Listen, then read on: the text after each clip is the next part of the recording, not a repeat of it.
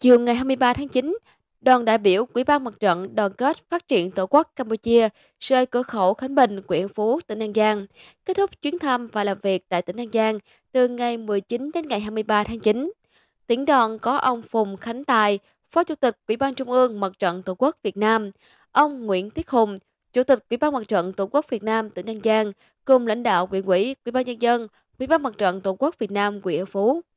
Chuyến thăm và làm việc của đoàn đại biểu Ủy ban Mặt trận Đoàn kết Phát triển Tổ quốc Campuchia tại tỉnh An Giang nhằm phối hợp với Ủy ban Trung ương Mặt trận Tổ quốc Việt Nam tổ chức hội nghị quốc tế xây dựng đường biên giới Việt Nam Campuchia hòa bình hữu nghị, hợp tác cùng phát triển lần thứ 6 năm 2022 năm 2025.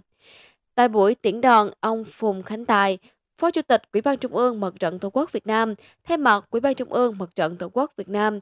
gửi tới ngài Nemvali và ngài Hebavi cùng tất cả thành viên trong đoàn lời cảm ơn chân thành vì đã dành thời gian quý báu để sang thăm và tham dự hội nghị quốc tế xây dựng đường biên giới Việt Nam, Campuchia hòa bình hữu nghị, hợp tác cùng phát triển lần thứ sáu. Hội nghị thành công tốt đẹp với những cam kết vững chắc của tổ chức mặt trận hai nước được quyết nghị tại thông cáo chung và giao ước thi đua.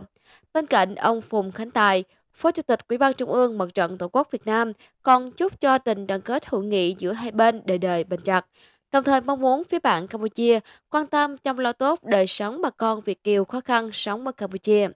Với chuyến thăm và làm việc của đoàn đại biểu Ủy ban Mặt trận Đoàn kết Phát triển Tổ quốc Campuchia sẽ thắt chặt thêm tình đoàn kết, kết nghị giữa hai nước cùng hợp tác và phát triển.